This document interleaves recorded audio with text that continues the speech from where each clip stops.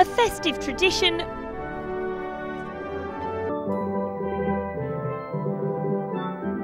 With a modern twist, the Queen has delivered her annual Christmas speech reflecting on the highs and, more pertinently perhaps, the lows of 2009.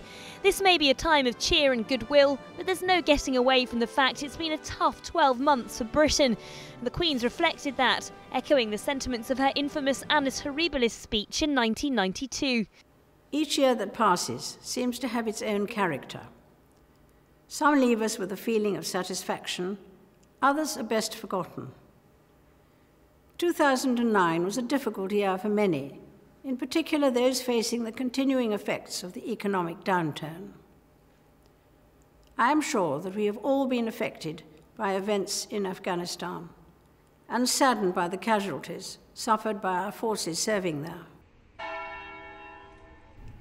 Our thoughts go out to their relations and friends who have shown immense dignity in the face of great personal loss.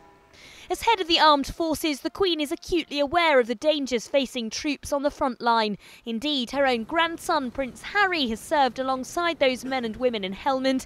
He came back safely, more fortunate than many.